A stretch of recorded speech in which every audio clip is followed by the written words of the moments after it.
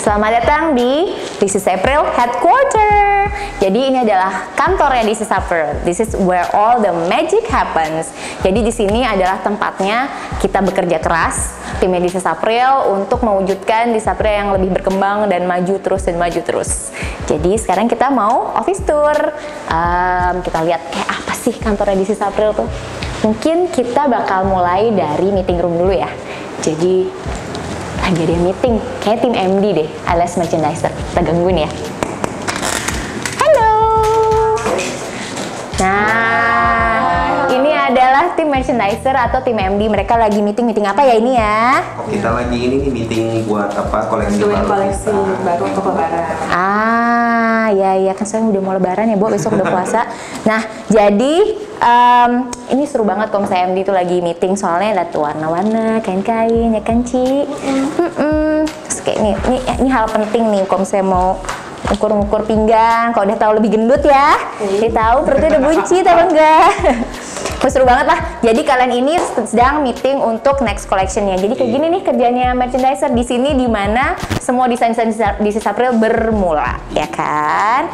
Headnya ini nih kepala-kepalanya kayak gini nih yang memikirkan bagaimana desainnya di Sis April.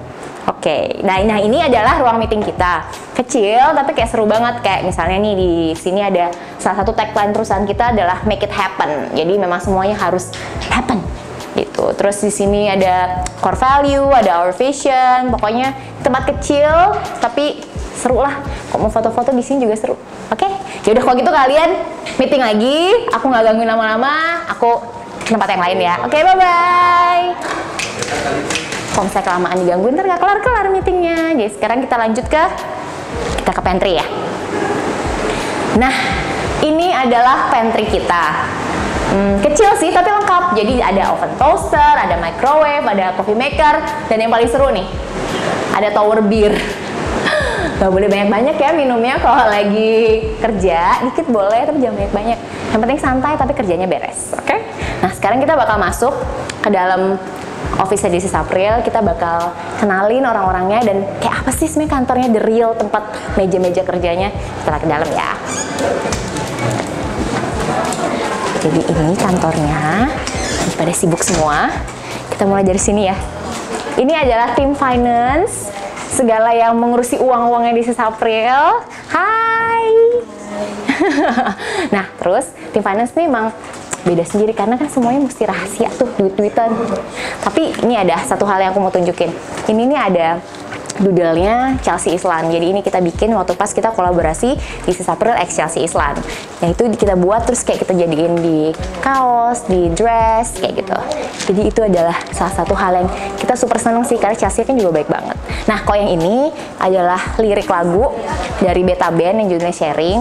Liriknya tuh oke banget dan vokalisnya Beta Band tuh adalah salah satu tim kita. Jadi karena liriknya oke taruh situ deh. Oh ini bentar, bentar. sini ada satu nih namanya kantin kejujuran yang bikin sebenarnya karyawan. Jadi di sini tuh kalau misalnya belanja nggak ada yang jual.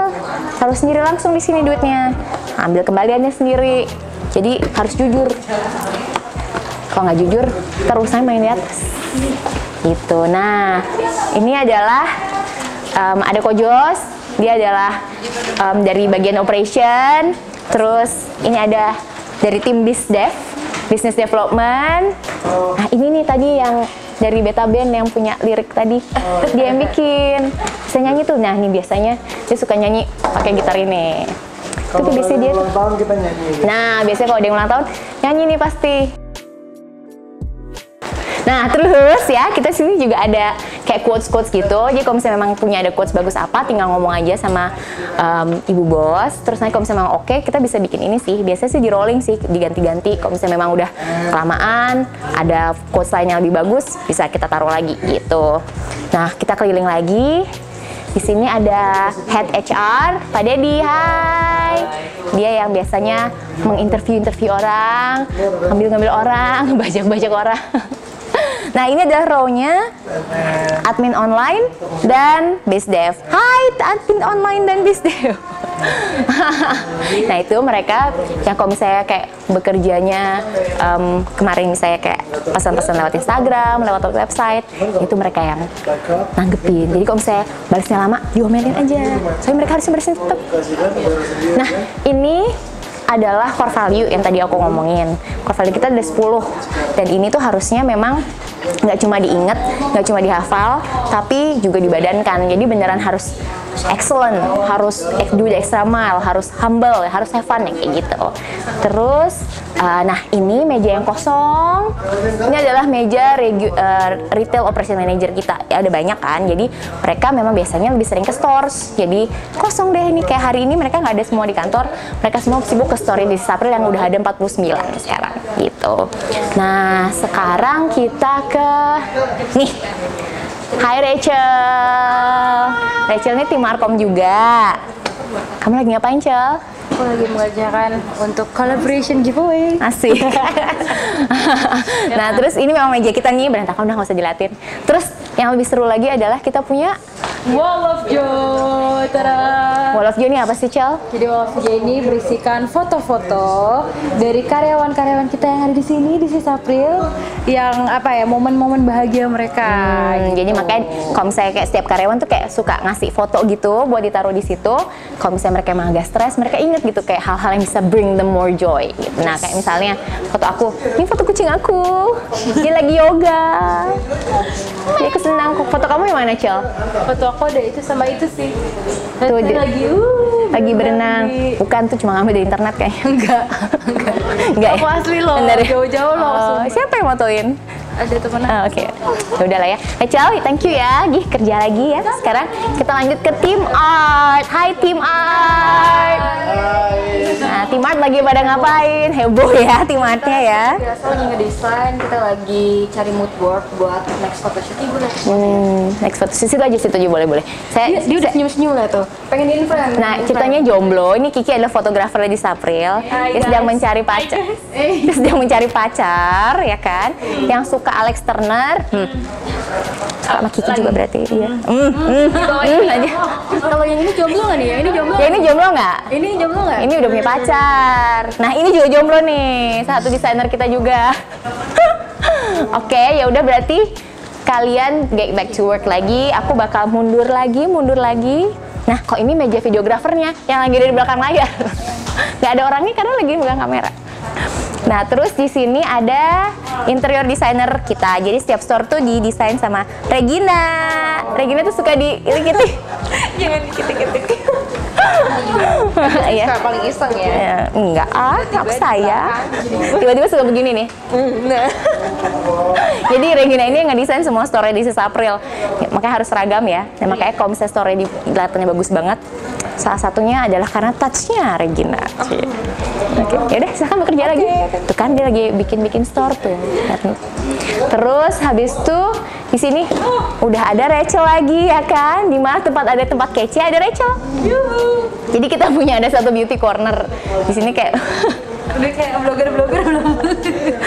Jadi biasanya sini kayak tempat foto-foto atau kayak ya tempat-tempat hangout lah kayak kalau misalnya mau foto-foto di kantor tempat-tempat spot yang cantik nah di sini kita selfie dulu.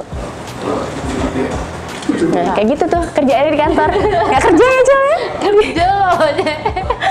Nah, kalau yang kosong ini nih adalah mejanya merchandiser yang tadi lagi meeting di ruang meeting. Kenapa kosong ya? Karena mereka di ruang meeting. Tuh, Kayak di situ tuh kayak ada katalog-katalog baju-baju. Ya, punya mereka lah. Aku nggak gitu ngerti. Makanya kosong karena mereka semua di ruang meeting. Nah, di dalam ruangannya ibu bos. Kayaknya lagi sibuk. Gangguin nggak? Gangguin nggak? Gangguin aja. Oke. Jadi kita coba ngobrol ya. Halo ibu. Ini adalah Ibu Maria, dia adalah founder dan owner di Sis April. Halo. Ibu kayak lagi sibuk banget. Jadi tadi itu kita udah keliling kantor, kita udah ngeliatin ada pantry, satu kantor lagi udah keliling-keliling, terus udah ngeliatin di ruang meeting ada MD lagi Meeting. Iya, betul. Kayaknya Ibu lagi ditungguin Iya, ini lagi siapin materinya nih buat buat untuk season berikutnya. season berikutnya. Oke oke. Yaudah kalau gitu kayaknya kita nggak usah lama-lama ya gangguin Ibu. Takutnya habis waktunya, waktunya mahal. Ya udah kalau gitu thank you banget Ibu. Mau lanjut lagi sana ya. Bye Ibu.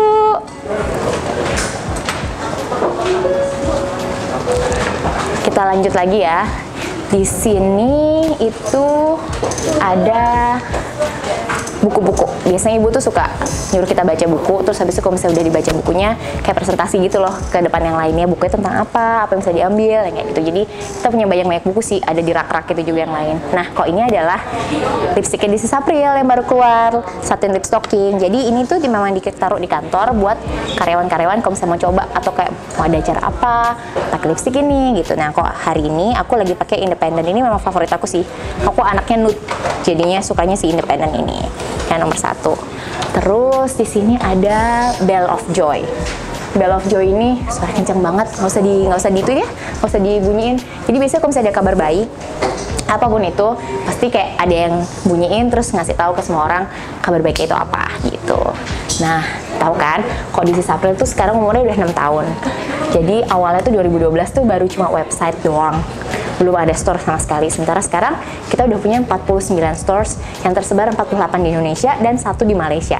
Dan ini adalah awal mulanya dulu. Ini kantor zaman dulu banget. Aku juga belum di sini waktu itu. Ini bersejarah. Ini adalah awalnya Disis April berdiri. Ini awalnya mimpi ibu akhirnya diwujudkan untuk punya Disis April gitu. Nah sekarang ke sana lagi ya um, thank you banget udah ikut bareng aku. Jasmine untuk keliling-keliling ngeliat kantor edisi April. Next time kalau misalnya memang ada sesuatu yang lebih menarik lagi aku pasti akan bakal ngasih tahu kalian dan bakal share ke semuanya. Tuh udah ada telepon bunyi-bunyi. Pasti udah ada kerjaan lain lagi. Udah dulu ya. Thank you. See you again